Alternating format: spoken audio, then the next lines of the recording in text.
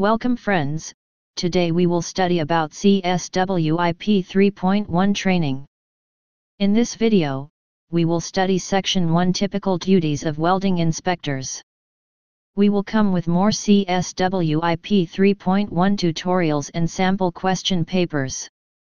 Please subscribe my YouTube channel for more welding and NDT related videos and click the bell icon. You can also join us on Telegram and WhatsApp group for material, discussion, and job updates. Details of Telegram and WhatsApp group provided in description. We can also share our study materials.